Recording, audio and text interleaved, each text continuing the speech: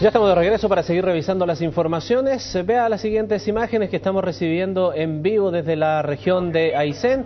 Es el vocero del movimiento social Iván Fuentes que está saliendo de la reunión de la mesa de negociación que se ha instalado en el día de hoy en la zona en conversación eh, directa con el representante del Ejecutivo, el ministro de Energía, Rodrigo Álvarez. Se ha señalado que ha habido avance, ha habido acercamientos, pero que las comunicaciones, las negociaciones van a seguir en el día de mañana, porque si bien se reconocen que hay propuestas que van en el camino de lo señalado y lo pedido por las organizaciones sociales, todavía falta mucho que conversar.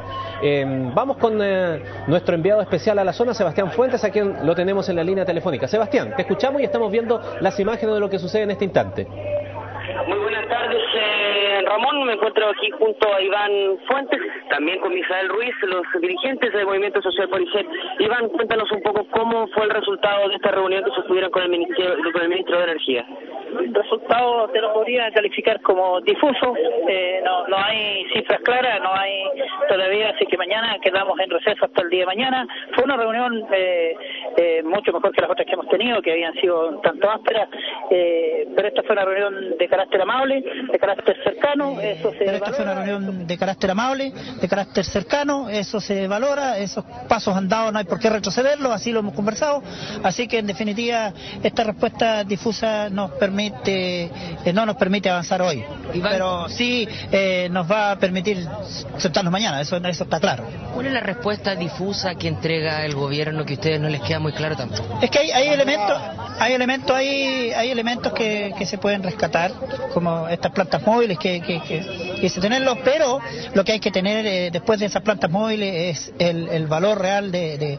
los combustibles. Y eso no está graficado, así que quedamos, le hemos pedido al señor ministro y a su gente que mañana nos tenga un gráfico eh, con cifras eh, para que al final del día veamos si cuánto nos acercamos al 20% que nosotros anhelamos. Sí, porque ellos eh, hablan de un 50% de subsidio al transporte, eh, eso es lo que no les queda bastante claro cómo para llegar o acercarse un 20% de lo que hablan ustedes. Pero un 50% de subsidio al transporte te reporta 22 pesos por, por, por, litro que ahorráis desde, desde el punto de partida, desde allá hasta acá. Y en el caso desde si se hiciera desde Calbuco para acá, serían como 12 pesos, algo así. Entonces eso es lo que hay que aclarar, eso es lo que tienen que traerlo con pera y manzana y no con una hoja en mano, sino que con un data show clarificante, con una charla, con una disertación. Antes disertábamos con una cartulina, hoy día existe la, la tecnología y podemos disfrutar de ella y para que todos entendamos mejor. Iván se habló de zona franca eh, también, ¿Hubo, ¿Hubo, conversaciones sobre eso, de hablar de un territorio eh, de zona franca?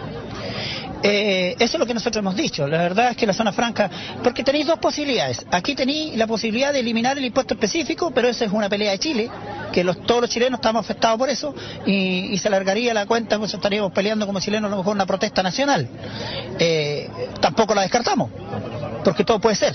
Pero en el caso de, de nosotros, en el caso de nosotros decimos, la verdad es que aquí, si no podemos eliminar el impuesto específico, queremos hacerle una zona franca, que en definitiva es lo mismo, pero por otra medida, que venís a, eliminar este impuesto específico y que nos quedaría esto, eh, este 20% que nosotros estamos diciendo, por bajo el precio más, bajo, más menor de la, de, la región, que en este caso es Chacabuco, creciendo para los lugares más lejos, los lugares más caros, y con estas plantas móviles sí, podría ser una posibilidad. Pero lo primero que tenemos que afinar es, no es el subsidio solamente al transporte, es este tanto por ciento que nos va a permitir que el combustible deje de costar 1.130 pesos o 1.300 pesos como es en otras partes. Iván, ¿cuándo sería la reunión de mañana? ¿Cuándo se Mañana concreta? a partir de las 11 de la mañana estamos de nuevo conversando, vamos a afinar, la, la, a cargar las pilas, a venir con buen estado de ánimo como lo hemos hecho, pero bueno, aquí estamos pegados en un tema y hay que sacar el taco para que el agua corra. Y la verdad que nosotros hemos puesto todo de nuestra parte. Muchas gracias, Iván. Bueno, serán las palabras entonces de Iván Fuentes, uno de los voceros eh, y líderes también, junto a Misael Ruiz, uno de los voceros también del movimiento social por el CEN. Ramón. Sin duda, las eh, palabras de Iván Fuentes para entender lo que ha sido estas negociaciones eh, en el día de hoy. Muchas gracias, Sebastián. Seguimos eh, en contacto. Digamos, antes de pasar a la siguiente comunicación, que, por ejemplo, en días anteriores el senador Horvath había señalado que una rebaja sustancial en porcentaje podían, ya se habían hecho ellos los cálculos como para entender y hacer sentido a lo que es la apreciación con números reales para la gente de Aysén. Si se elimina en un porcentaje cercano al 20%, como señalan eh, en Aysén, el precio de los combustibles significaba, cuantificado a la zona, aproximadamente una inyección de recursos del Estado por ese concepto de aproximadamente 10 millones de dólares. ¿Qué dicen los ayseninos? Los ayseninos dicen en Santiago el subsidio indirecto al metro eh, perdón, al Transantiago son prácticamente 500 millones de dólares al año.